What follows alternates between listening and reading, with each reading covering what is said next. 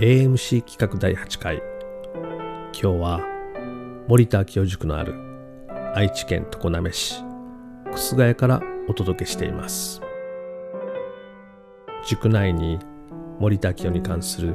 さまざまな書籍が置かれている一角にひときわ目立つのが森田明夫が表紙を飾った米タイムス紙です。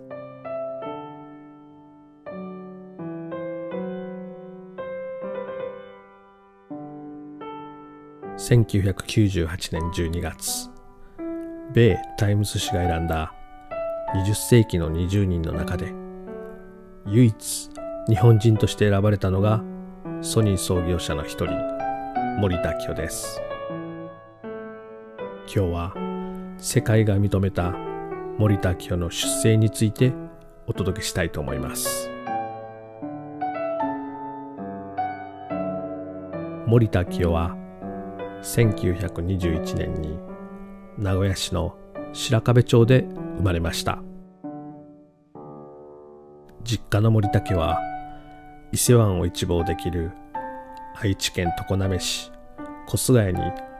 江戸時代に創業した造り酒屋。そして代々小菅谷の庄屋として酒造業を拡大してきました。この350年ほど続く森田家の歴史の中に後のソニーを築き上げた森田明夫の DNA の元となった人物がいるのでご紹介したいと思います。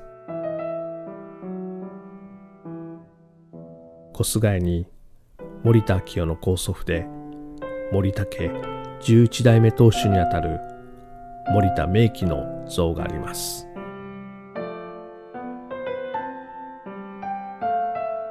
1858年に森田家11代目当主となった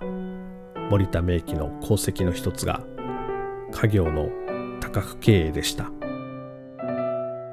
江戸時代から続いた酒造業だけでなく戦国船を共同購入して江戸への航路の開拓や醤油の醸造西洋の最新技術をいち早く取り入れ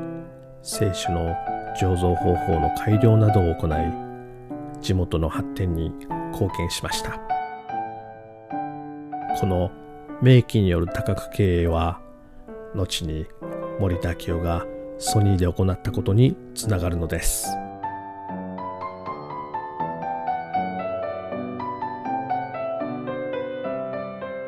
名機は家業の経営基盤を固めた後地元の海岸や道路の改修など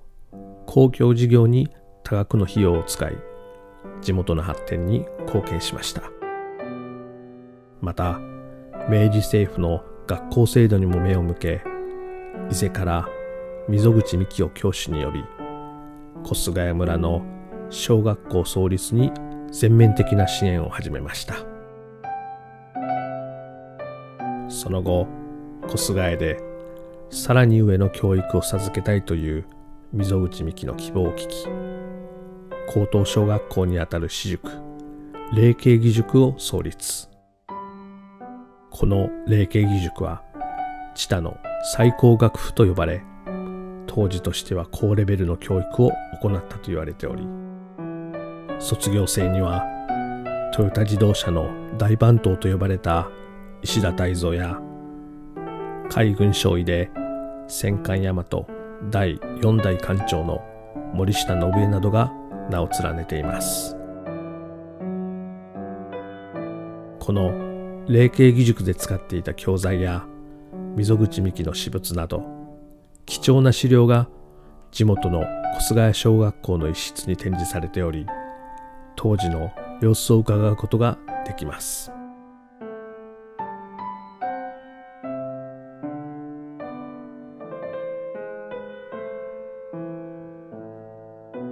の霊慶義塾で学び溝口美紀から直接訓導を受けたのが森田清の父となる14代目当主彦太郎でした。彦太郎は多角経営で森田の礎を築いた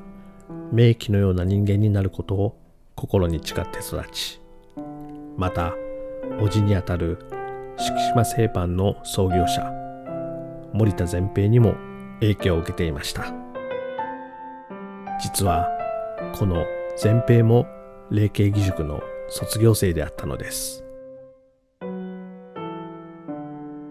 彦太郎の父13代目久左衛門は売り上げが落ちていた森田家の挽回を図るため森田合資会社を設立。しかし売り上げを挽回できる道はなかなか見出せないでいました。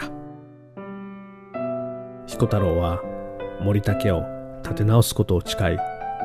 慶應義塾大学に入学し経済学の道に進みました。しかし大学2年目にして12代目が死去。森田家の多額の資産が骨董収集につぎ込まれていたことを知ったのでした。彦太郎は森田家の再建を決心し大学2年で中退。骨董をオークション方式で販売して会社再建の資金を作り問屋を通さずに自分たちの手で直接小売店に売る方式を始めました。また名古屋に本店を移し小菅谷を醸造所としました。この自分の会社の製品は自分の手で売るという方式は彦太郎の息子の昭夫が後のソニーでの販売戦略としてその精神を受け継ぐのでした。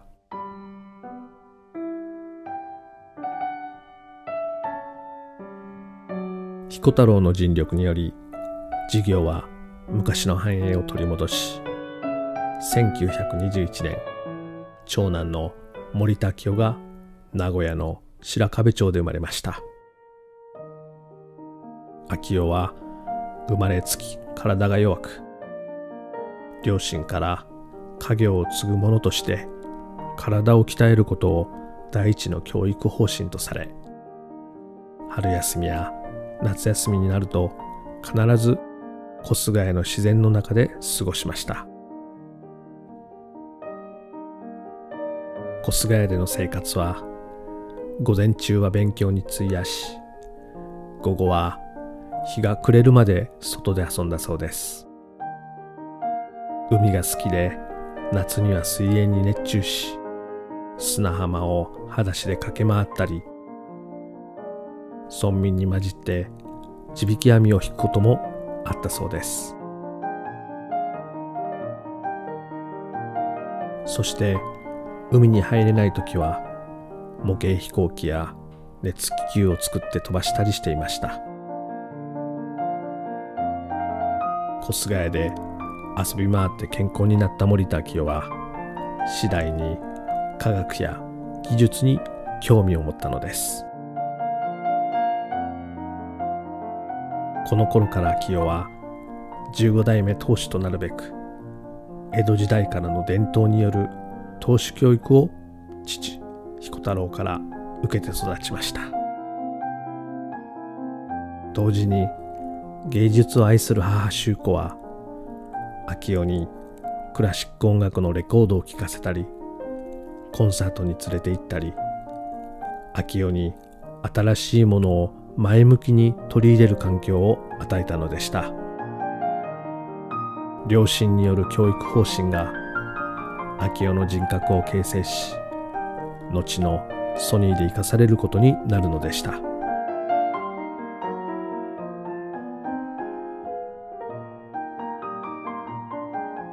森田合資会社を立て直した彦太郎は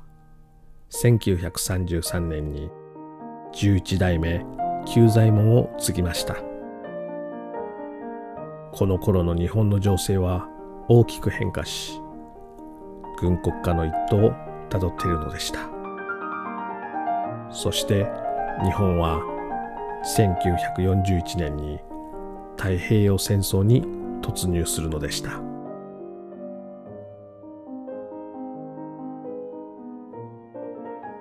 その頃昭夫は大阪帝国大学で物理を専攻しその後海軍の技術将校となりました。戦時中陸海軍と民間の研究者からなる科学技術研究会の分科会メンバーとして参加していた秋夫の前に後の秋夫の人生に多大な影響を与える人物が現れました。それが伊深勝だったのです。そして戦後の昭和21年。森田清は伊深勝と再会を果たし東京通信工業を設立。父の14代目久左衛門は長男の昭夫が森田家15代目当主を継ぐべく期待を持って育てましたが伊深勝との新会社の説明を聞き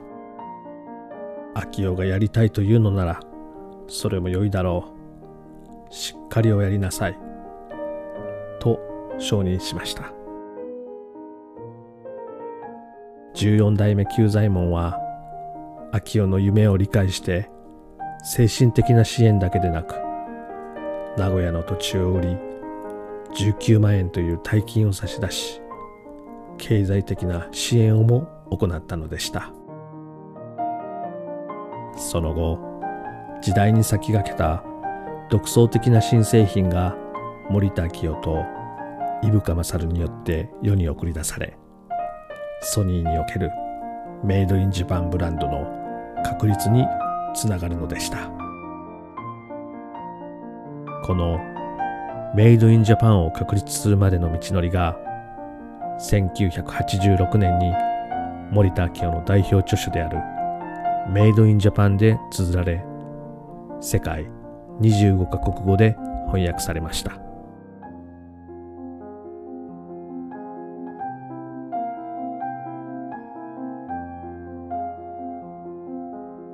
昭夫にとって伊深勝以外にもう一人人生に多大な影響を与えた人物がいました。それが妻のよし子です。武家出身で三省堂創業家の亀井家に生まれたよし子と昭夫は1951年に出会い同年に結婚。後に3人の子供を設けました。昭夫の父14代目久左衛門が自分の会社の製品は自分の手で売るという方針を掲げて家業を拡大したように昭夫もまた米国で商品を自分の手で売るためには米国のことを知らなければならないと決心し